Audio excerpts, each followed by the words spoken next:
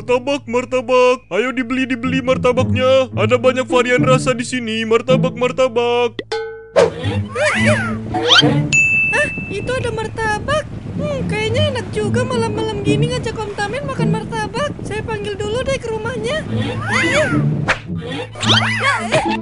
eh, eh, Om Tamen, Om Tamen, ada di rumah nggak? Eh, Hmm, ada apa, Cong? Tumben kamu malam-malam gini datang ke rumah saya. eh, maaf ganggu malam-malam gini Om Tamen. Om Tamen lagi sibuk nggak? Kita makan martabak yuk. Ah, makan martabak? Ada apa, Cong? Kok tiba-tiba kamu pengen makan martabak sih? Hmm, iya tadi pas terbang saya ngeliat martabak Om. Kayaknya enak tuh. Ada rasa anti mainstream loh.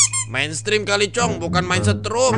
Oh iya itu maksudnya Om. Ayo Om kita cobain martabaknya. Hmm, saya baru aja pulang nih, Cong. Kamu duluan aja deh ke sana. Ntar saya nyusul. Saya mau mandi dulu nih. Hmm, oke Om Tamen. Om Tamen mau dipesenin sekalian nggak? Biar nanti pas Om Tamen datang martabaknya udah jadi. Hmm, boleh, Cong. Mau rasa apa Om? Hmm, rasa rujak aja deh kayaknya enak, Cong. Hmm, oke Om Tamen, saya permisi dulu ya. Hmm, iya, Cong, hati-hati. Hmm, kok nggak ada yang beli martabak saya sih? Padahal saya udah capek-capek teriak dari tadi. Eh, akhirnya ada pembeli juga. Mau beli martabak rasa apa, Mas? Mas, Mas kok diem aja sih? Jadi mau beli nggak nih? Wah, itu temen-temennya pada datang juga. Mau beli martabak juga itu, Mas. Eh, eh, ada apa ini? Tolong! Ah! Ya, eh, kok udah rame aja sih? Hmm, berarti martabak di sini enak. Sampai laris kayak gitu. Eh, Om Om ini pada mau ngapain? Eh, eh, jangan deket-deket. Aduh, aduh, aduh. Eh, to- tolong, tolongin saya. Eh, zombie kurang ajar. Mau ngapain kalian? Zombie itu diam aja sih?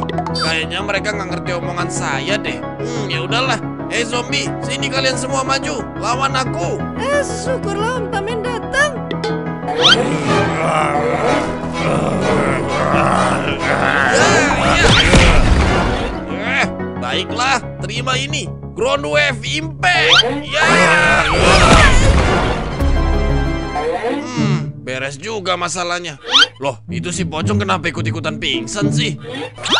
Eh, eh, Cong, Cong, bangun, Cong, bangun. Eh, saya di mana nih Om? Hmm, kamu barusan diserang zombie, Cong. Tapi udah pada saya beresin semua tuh. Oh iya, saya baru ingat. Kita kan tadi ke sini mau makan martabak Om Tamen. Ah, dasar kamu, Cong. Di saat kayak gini masih aja kepikiran mau makan martabak. Itu mas-mas penjual martabaknya juga udah jadi zombie, Cong. Loh, gimana nih? Terus siapa dong yang bikinin martabak kita Om Tamen? Loh, kok tanya sama saya sih? Mana saya tahu, Cong. Mending kita cari makan yang lain aja deh. Hmm, iya Om Tamen. Oh iya, ngomong-ngomong Om penjual martabak tadi kok bisa jadi zombie juga sih? Lah, kamu nggak tahu ya, Cong. Kalau orang udah kena gigit zombie, dia bakal berubah jadi zombie juga. Hah? Wah, kalau gitu gawat dong. Tangan saya tadi digigit zombie juga Om. Jadi saya bakal jadi zombie juga dong. Waduh, gimana nih Om Tamen? Aja, Cong. Udah nggak usah panik kayak gitu. Yang bisa jadi zombie itu cuma manusia. Kamu kan bukan manusia, Cong. Masa kamu lupa sih? Oh iya juga ya.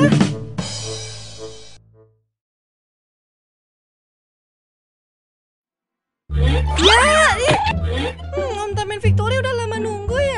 Enggak juga sih, Cong. Gue juga baru nyampe sekitar 15 menitan gitu. Oh iya, gue sih rencananya pengen nongkrong sambil ngopi-ngopi gitu, Cong. Lu lagi nggak sibuk kan? Hmm, saya sih banyak nganggurnya Om.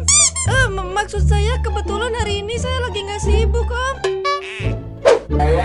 Hmm, senangnya kalau lihat lingkungan damai-damai kayak gini. Semoga aja aman terus.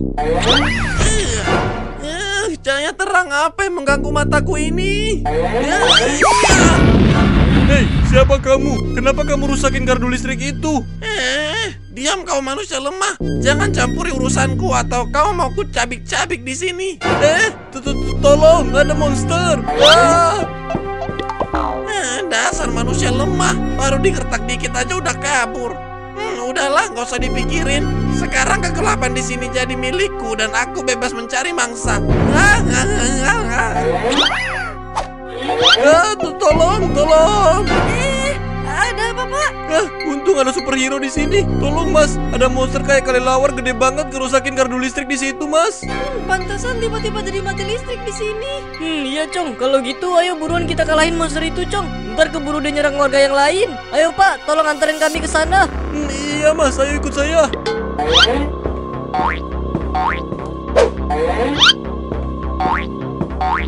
Nah di sini tempatnya mas. Tadi monsternya terbang terus mendarat di atas gardu listrik itu. Hmm, tapi di mana monsternya ya? Wah, bisa bahaya nih kalau dia udah nyerang warga. Hmm, mending saya benerin dulu gardu listrik ini supaya terang. Jadi kita bisa ngeliat dengan jelas monster itu di mana, Cong. Eh, eh, tu- tunggu Om. Tenang aja di situ.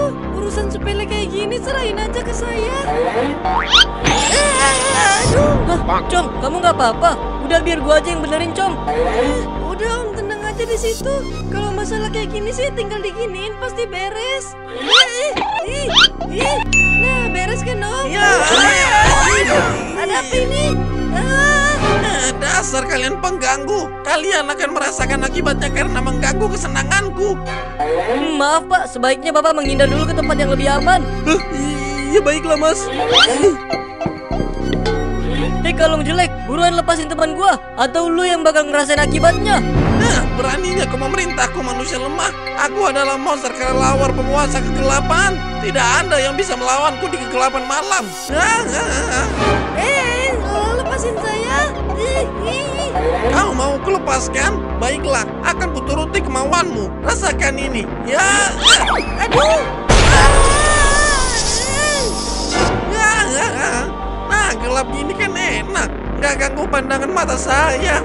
Ya, ya, ya. Dasar monster jelek, bikin gue emosi aja. Ya, Ya, ya, ya, ya, ya, ya, Terima ini, ya Ganggu rencana nongkrong gua aja. Nah, udah nyala lagi nih listriknya. Cong, Cong, bangun Cong. Ayo kita pergi nongkrong di mana ini Om? Bukannya tadi kita mau ngopi ya? Gimana Cong, lu nggak apa-apa kan? Kita masih bisa lanjut nongkrong kan nih? Hmm, iya Om, saya baik-baik aja kok. Ayo Om, kita berangkat. Ya,